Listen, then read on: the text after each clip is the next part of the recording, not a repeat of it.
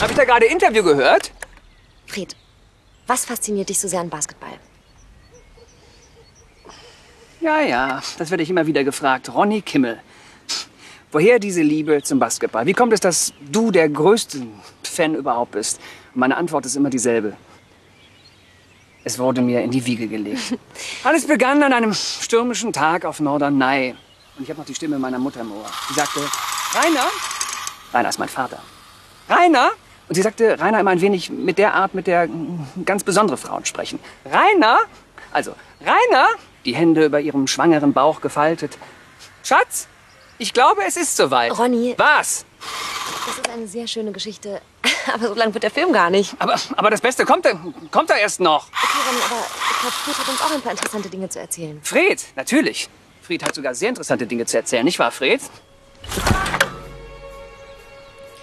Also, Ronny, immerhin hat doch Fred den Basketball gefangen. Und er ist doch auch ein großer Alba-Fan, genau wie du. Ist er eben nicht. Niemand ist ein größerer Alba-Fan als Ronny Kimmel. Und wenn hier irgendjemand in diesem, diesem Film zu Wort kommen sollte, dann bin ich... Scheiße! Ronny, bitte reg dich nicht auf. Ich würde jetzt wirklich gerne Fred interviewen. Gute Idee. Der hat nämlich eine ganz besonders interessante Geschichte zu erzählen, nicht wahr? Hm, Oder soll ich deine Geschichte erzählen? Die ist nämlich sehr kurz. Er ist nämlich erstens gar kein Alba-Fan und zweitens ist er auch überhaupt gar nicht... Be hey, hey, hey, hey, hey, hey, hey, scheiße nochmal! Hey!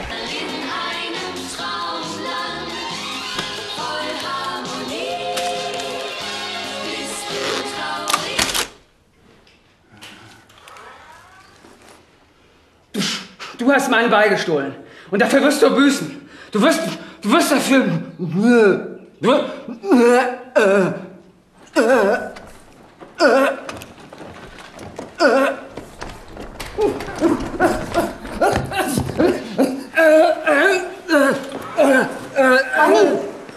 Ronny, du musst ganz ruhig atmen. Hey, Ronny, was ist los?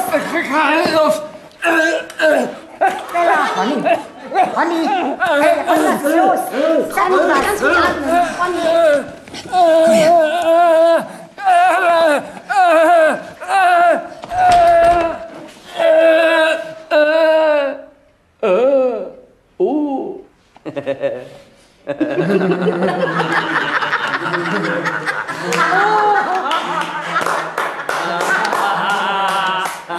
Seid ihr bescheuert oder was? Bescheuert. Mann, ich hab gedacht, du stirbst. Ja, du wolltest uns verarschen. Du hast ja die ganze Zeit gemacht, dass du gar, dass du gar nicht behindert bist. Ach ja, woran denn?